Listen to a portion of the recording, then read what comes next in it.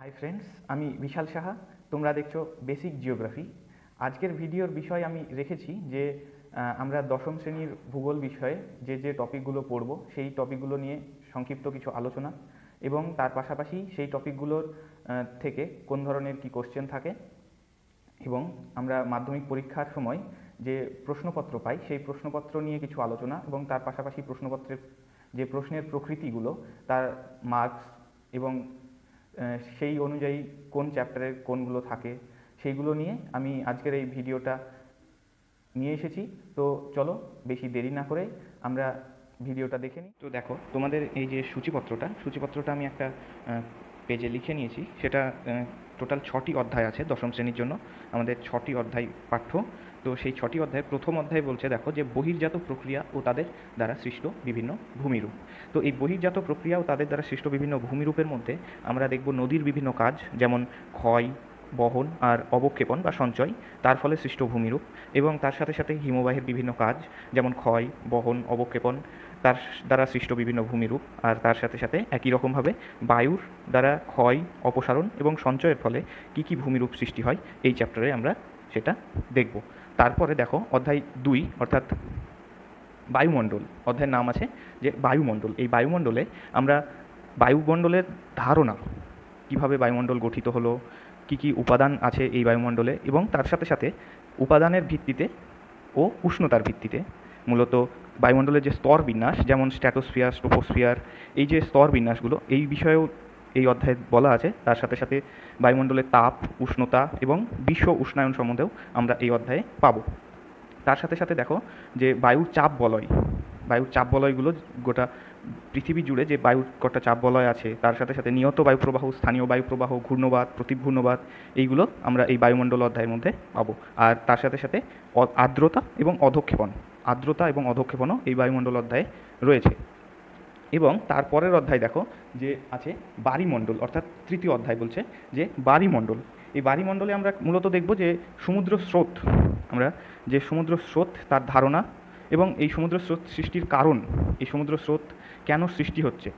সেই কারণ এবং সমুদ্র স্রোতের মূলত প্রভাব, বিভিন্ন সমুদ্র স্রোত যেগুলো তার পৃথিবীর ওপর কী কী প্রভাব ফেলছে বা পৃথিবীর ব্যাপী যে সমুদ্র স্রোতের প্রভাব, সেইগুলো আমরা জানব। এখানে মনে রাখবে যে এই বারিমণ্ডল অধ্যায়টাতে আমরা কিন্তু ক- সমুদ্র স্রোত যে পৃথিবীব্যাপী যে সমুদ্র স্রোতগুলো রয়েছে, সেই সম্বন্ধে কিন্তু অতটাও জ্ঞান না হলেও চলবে।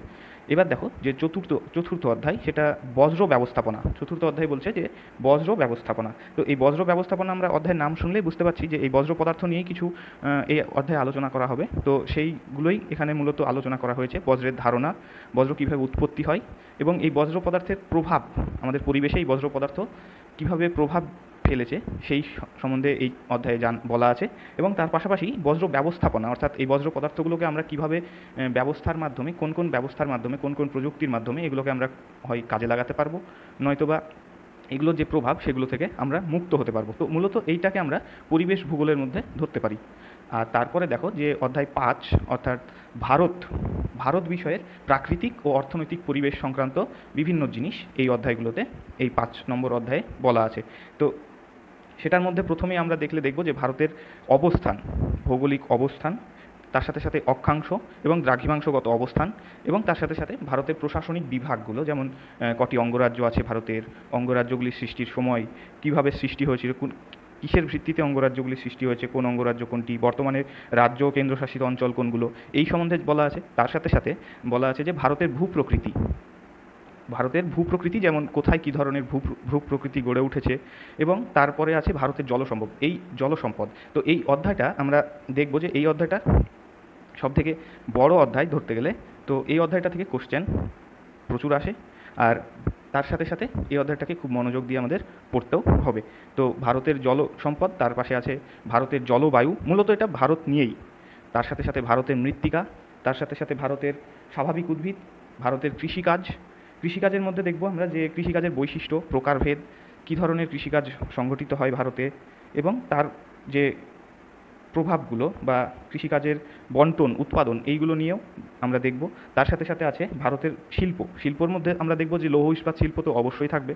তার সাথে সাথে কার্পাস বয়ন, ইঞ্জিনিয়ারিং, পেট্রোকেমিক্যাল এবং অটোমোবাইল ও তথ্য প্রযুক্তি এই বিভিন্ন ধরনের শিল্প নিয়ে আলোচনা করা আছে এই এই অধ্যায়তে এবং তার সাথে সাথে আছে যে ভারতের জনসংখ্যা।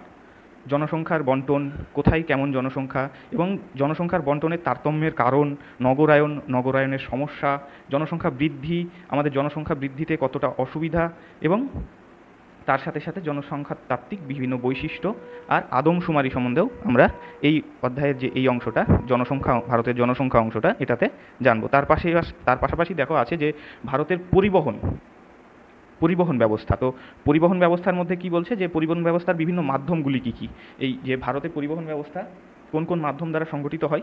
মূলত আমরা সবাই জানি যে, আমাদের ভারতের পরিবহন ব্যবস্থা, সড়ক, রেল এবং জলপথ, আকাশপথ সব মাধ্যমেই সংগঠিত হয়। তার সাথে সাথে আরও কিছু আছে রজ্জুপথ আছে, তারপরে পাইপলাইন আছে, পাতাল রেল আছে, এগুলো অবশ্যই থাকবে। আর তার সাথে সাথে যেটা আছে সেটা হচ্ছে সামুদ্রিক বন্দর এবং আন্তর্জাতিক বিমানবন্দর।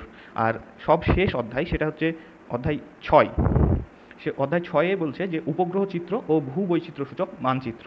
আমরা দেখতে পাচ্ছি যে উপগ্রহ চিত্র, তাহলে এই অধ্যায়টাতে উপগ্রহ চিত্র ও ভূবৈচিত্র্য সূচক মানচিত্রের সাধারণ কিছু ধারণা দেওয়া আছে এবং তাদের প্রভেদ দেওয়া আছে। তার সাথে সাথে ভূবৈচিত্র্য সূচক মানচিত্রে যে বিভিন্ন ধরনের স্কেল ব্যবহার করা হয়, সেই স্কেল সম্বন্ধে তোমাদের কিছু ধারণা দেওয়া আছে। আর উপগ্রহ চিত্রের বৈশিষ্ট্য ও ব্যবহার, উপগ্রহ চিত্র আমরা কোন কোন কাজে ব্যবহার করে থাকি এবং এর বৈশিষ্ট্যগুলি কী কী, সেই সম্বন্ধে এই ছয় নম্বর অধ্যায়ে বলা নিয়ে বলব, সেটা হচ্ছে পরীক্ষার প্রশ্নপত্র। তো দেখো, আমি দু হাজার কুড়ি সালের একটা জিওগ্রাফির প্রশ্নপত্র নিয়েছি এখানে। তো সেটাতে দেখো প্রথমেই টাইমটা টাইমটা উল্লেখ আছে যে থ্রি আওয়ার্স ফিফটিন মিনিটস অর্থাৎ তিন ঘণ্টা। পনেরো মিনিটের টাইম থাকে, তোমাদের টাইম ডিউরেশন থাকে। আর ফুল মার্কস যেটা হচ্ছে নাইনটি সেই নব্বই মার্কের পরীক্ষা তোমাদের দিতে হয়। এই নাইনটি মার্কের পরীক্ষা তোমাদের এই তিন ঘণ্টা, পনেরো মিনিটের মধ্যে দিতে হবে। তো এখানে দেখো একটা ভালো জিনিস, সেটা উল্লেখ করাই থাকে পরীক্ষায়। প্রথম প্রশ্নপত্রেই উল্লেখ করা থাকে। সেটা হচ্ছে special credit will be given for answers which are brief and to the point marks will be deducted for spelling mistakes untidiness and bad handwriting তো দেখো বলছে যে স্পেশাল ক্রেডিট দেবে তারা, যে তারা সংক্ষিপ্ত এবং point to the point answer চাই সবসময়। এবং তার সাথে সাথে স্পেলিং মিস্টেক এবং আনটিডিনেস এবং ব্যাড হ্যান্ড রাইটিংয়ের জন্য মার্কসটা কমতেও পারে। সেটাই তারা এখানে প্র- পরীক্ষার প্রথমেই বলে দেয় যে প্রশ্নপত্র সেই ফ্রন্ট পেজে সেগুলো লেখা থাকে। তো এখানে ফুল মার্কস যেটা একশো নম্বর আছে, সেটা দেখে কখনোই ঘাবড়াবে না। সেটা তোমাদের জন্য নয় for external and sightless external candidates অর্থাৎ যারা বহিরাগত এবং যারা দৃষ্টিহীন বা দেখতে পাই না, তাদের জন্য এই একশো মার্কের যে পরীক্ষা, সেটা নেওয়া হয় এই প্রশ্নপত্রে। তোমাদের জন্য যেটা সেটা হচ্ছে নব্বই মার্কের পরীক্ষা। বন্ধুরা আমার এই ভিডিওটি একটু পরীক্ষার প্রশ্নপত্রে যে বিভাগ হয়ে গেছে যে কোশ্চেনগুলো থাকে সেটার জন্য আমি একটা দয়া করে। পেজে লিখে নিয়েছি সেটা তোমাদের আলোচনা করে বলি। সেটা হচ্ছে যে বিভাগ ক বিভাগ কয়ে থাকে এমসিকিউ অর্থাৎ যেটা আমরা বললাম একটু আগেই যে মাল্টিপল চয়েস কোশ্চেন এখানে বিকল্প দেওয়া থাকবে। প্রতিটা কোশ্চেনের চারটে করে বিকল্প থাকবে এবং সেই বিকল্পগুলি থেকে কোশ্চেনের উত্তর, সঠিক যেটা উত্তর হবে সেটা তোমাকে টিক দিতে হবে বা বেছে নিতে হবে। সেটা থাকবে বিভাগ কয়ে এবং সেটার জন্য চোদ্দোটা কোশ্চেন থাকে এবং এক মার্ক করে টোটাল চোদ্দ মার্ক গেল আমাদের বিভাগ ক। এবার আসছি বিভাগ খ। বিভাগ খয়ে টোটাল চার প্রকার কোশ্চেন থাকে। কীরকম প্রথমে থাকে শুদ্ধ, অশুদ্ধ। তোমাদের একটা বাক্য বলে দেবে। সেই বাক্যটা শুদ্ধ না অশুদ্ধ, সেটা তোমাদেরকে নির্ণয় করতে হবে। এবং সেটা থাকে টোটাল সাতটি কোশ্চেন এবং তোমাকে যে কোনো ছটি করতে হয় এবং প্রতিটি কোশ্চেনের জন্য এক মার্ক করে ছয় ইন্টু এক সমান সমান ছয়। এবং দুই যেটা দুইয়ের দুই নম্বর কোশ্চেন অর্থাৎ দুইয়ের দুইয়ের দাগে যেটা থাকবে, সেটা হচ্ছে শূন্যস্থান পূরণ। অর্থাৎ শূন্যস্থান পূরণেও টোটাল সাতটি কোশ্চেন থাকে। শূন্যস্থান পূরণ কি? যে তোমাকে একটা শূন্যস্থান দিয়ে দেবে সেখানে সঠিক যেটা উত্তর, সেটা লিখে সেই শূন্যস্থানটা পূরণ করতে হবে। তো সেটা টোটাল সাতটি কোশ্চেন থাকে, তোমাকে করতে হবে ছটি কোশ্চেন তো এখানেও এক এক করে মার্ক প্রতিটা কোশ্চেনের এক ইন্টু ছয় সমান সমান ছয়। তারপরে দেখো তিন দুয়ের তিন বলছে যে পূর্ণ বাক্যে উত্তর দেওয়া, অর্থাৎ এখানে এক লাইনের মধ্যে তুমি উত্তরটাকে কমপ্লিট করতে পারো। অবশ্যই সেটা পূর্ণ বাক্যে হতে হবে। এবং সেটা দেখো যে চারটি থাকে সরি এখানে আটটি হবে আটটি থাকে, আর করতে হবে তোমাকে ছটি। এখানেও প্রতিটির জন্য পূর্ণমান এক থাকে এবং ওয়ান ইন্টু সিক্স সমান সমান সিক্স তারপর দেখো দুয়ের চার, চারের দাগের কোশ্চেন যেটা দুয়ের সেটা হচ্ছে স্তম্ভ মেলান। ওখানে চারটি স্তম্ভ থাকবে মানে দুই দিকে দুটো স্তম্ভ থাকবে, সেই স্তম্ভগুলো তোমাদেরকে মেলাতে হবে, সেটার জন্য চারটি থাকে, এখানে বেশি থাকে না। এবং এই জন্য এক মার্ক করে প্রতিটি কোশ্চেন প্রতিটির জন্য, এবং ওয়ান ইন্টু ফোর সমান সমান ফোর তো এই টোটাল দুয়ের বিভাগ কয়ে যেটা থাকে, সেটা হচ্ছে বাইশ, অর্থাৎ চোদ্দ হলো আর বাইশ হলো। এবার দেখো বিভাগ গ। অর্থাৎ যে তিনের দাগের কোশ্চেন পাবো আমরা, বিভাগ গ বলে লেখা থাকবে সেখানে সংক্ষিপ্ত ধর্মী প্রতিটির বিকল্প থাকবে। সংক্ষিপ্ত ধর্মী বলতে কি? যে তা না তো তোমার মার্কসটা দেখে নাও, যে এখানে প্রতিটি কোশ্চেনের জন্য যে মার্কস অ্যালোটেড থাকে, সেটা হচ্ছে দুই মার্ক এবং টোটাল ছটি কোশ্চেন তোমাকে করতে হবে, আর ছয় দুগুণে বারো মার্কস আর প্রতিটির বিকল্প অর্থাৎ কি? যে তোমার যে একটি কোশ্চেন তার সাথে সাথে অথবা অপর একটি কোশ্চেন আবার দুই নম্বর কোশ্চেন তার সাথে সাথে অথবা দুইয়ের আরেকটি কোশ্চেন তো এরকম করে প্রতিটির একটি করে, অর্থাৎ টোটাল বারোটা কোশ্চেন থাকবে তোমার, কিন্তু যে কোনো ছটি যে করতে পারবে তুমি তা নয়, তোমাকে প্রতিটির থেকে করতে হবে এবং প্রতিটিতেই দুটি করে থাকবে, অথবা অথবা করে প্রতিটিতেই থাকবে। তারপরে দেখো যে বিভাগ গ হলো, এবার বিভাগ ঘ। বিভাগ ঘয়েও সেই রকমই সংক্ষিপ্ত ব্যাখ্যামূলক কোশ্চেন যেগুলো থাকে, সেগুলোতে মার্কসটা একটু আপগ্রেড করা হয় বা বাড়িয়ে দেওয়া হয়, সেটা হচ্ছে তিন মার্কস থাকে। আর একটা জিনিস বলে দিই তোমাদের, সেটা হচ্ছে এই দুই মার্কসেরগুলো যেগুলোতে ছবি দেওয়া সম্ভব হবে। সেই ছবিগুলো অবশ্যই দিতে হবে। সেটা ভালো না হোক, তোমার বোঝানোর মতো একটা ছবি দুই মার্কসেরগুলো দিলে নাম্বারটা বেশ ভালো পাওয়া যায়। তো তার সাথে সাথে দেখো, এবার বিভাগ ক্ষয়ে যেটা, সংক্ষিপ্ত ব্যাখ্যামূলক প্রতিটির বিকল্প থাকে। এখানেও প্রতিটির বিকল্প থাকবে, অর্থাৎ চারের এক একটা কোশ্চেন থাকল এবং চারের একের অথবাতে অপর একটি কোশ্চেন তুমি ওই দুটির মধ্যে যে কোনো একটি করতে পারবে এবং এখানেও তাই, দেখো যে প্রতিটির জন্য তিন মার্ক থাকে এবং তোমাকে চারটি কোশ্চেন অ্যাটেন্ড করতে হবে।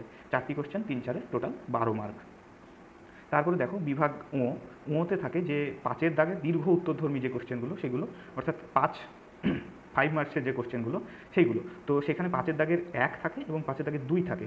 পাঁচের দাগের একে থাকছে যে চারটি থাকবে এবং তোমাকে সেখান থেকে যে কোনো দুটি করতে হবে। পাঁচের দাগের দুইয়েও তাই চারটি থাকে এবং সেখান থেকে তোমাকে যে কোনো দুটি করতে হবে। এখানে বলে রাখা ভালো যে আমরা প্রথমে যে প্রাকৃতিক ভূগোল অর্থাৎ দেখো এখানে বহির্জাত প্রক্রিয়া তাদের দ্বারা সৃষ্ট ভূমিরূপ, বায়ুমণ্ডল বায়ুমণ্ডল এই যে প্রাকৃতিক অংশটুকু, এই অংশ থেকে পাঁচের দাগের একের কোশ্চেনগুলো থাকে, অর্থাৎ চারটি কোশ্চেনই সেই প্রাকৃতিক অংশ থেকে থাকে এবং তার মধ্যে থেকে তোমাকে যে কোনো দুটি কোশ্চেনের উত্তর দিতে হবে।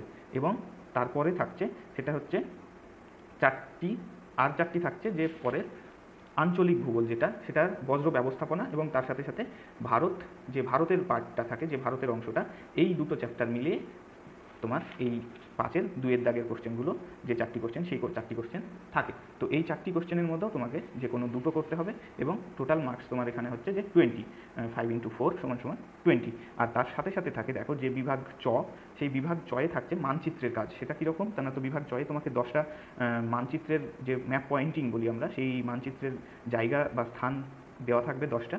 এবং সেই দশটা স্থানকে তোমাকে প্রথমেই ভারতের একটা মানচিত্র দিয়ে দেওয়া হবে কোশ্চেনের সঙ্গে এবং সেই কোশ্চেনের সঙ্গে ভারতের একটা মানচিত্র দিয়ে দেওয়ার দিয়ে দেবে এবং ফাঁকা মানচিত্র থাকবে। সেখানে তোমার রোল নাম্বার লিখতে পারবে। তুমি সেই রোল নাম্বারটা লিখে নিয়ে সেই মানচিত্রে পেন্সিল দিয়ে মানচিত্রে যে স্থানগুলো বলা থাকবে কোশ্চেনের বিভাগ চয়ে সেই স্থানগুলোকে মার্কিং করে নিচে একটা ইন্ডেক্স দিয়ে তুমি সেইটা কাজটা করতে পারো। আমি মানচিত্রের কাজটা অবশ্যই একটা আলাদা ভিডিও করে তোমাদের দেখিয়ে দেব এবং এর সাথে সাথে আমার যে এই কোশ্চেন বিষয়ক আলোচনা, সেইটা আমি এখন বললাম, সেটা বুঝতে পেরেছ। তার সাথে সাথে তোমরা আমার চ্যানেলে যদি নতুন হয়ে থাকো, আমার চ্যানেলটিকে সাবস্ক্রাইব করো এবং নোটিফিকেশান বেলটি ক্লিক করে রাখো, যাতে আমি ভিডিও আপলোড করার সাথে সাথে তোমরা নোটিফিকেশান পেয়ে যাও এবং তাদের কাছে পৌঁছে দাও, যাদের এই বিষয়গুলো জানাটা এখন একটু দরকার।